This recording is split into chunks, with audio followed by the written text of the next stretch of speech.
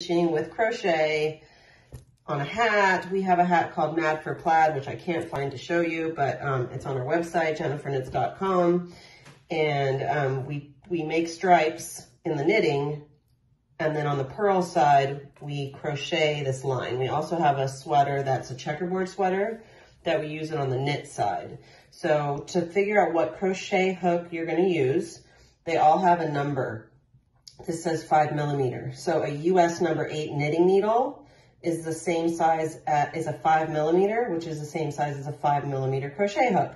Sometimes they only have letters, A, B, C, D, E, F, G. So if you're using, say, a four millimeter knitting needle, just Google what's a four millimeter crochet hook and it's gonna tell you what size to use. So try to use about the same size as what you knit your garment on.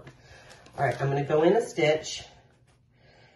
So I'm gonna go in a stitch, right? So can you see that? I'm going in the middle of a stitch. It's a little easier to see a stitch on the knit side. So it's like the middle of a V. You go in right there. But our hat, Mad for Plaid hat, is you crochet on the purl side. So I'm gonna go in a stitch, not in the middle of a stitch. That's the middle of a stitch. I wanna go right in the, I think it's easier to see on the light color, right in the middle of the stitch. So this is, sorry, right, yeah, right in the center of the stitch. This is in between two stitches. We don't wanna go there. We wanna go in the center of a stitch.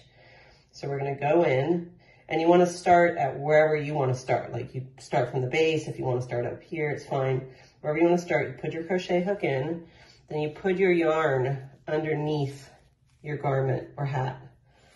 So, and I would weave all these terrible ends first, otherwise you're gonna get confused with the string you're knitting on and the ends of your hat. I did not do that. I left all this baloney in there, but that's bad. So weave your ends first, then you pull out your thread, then you wrap your thread around your finger somehow, some way, then I'm gonna go in the stitch above. So I have this one coming out, my first stitch, I go right in the stitch above, and then sort of like use the force loop, right? So you're just gonna feel your yarn underneath and pull it through.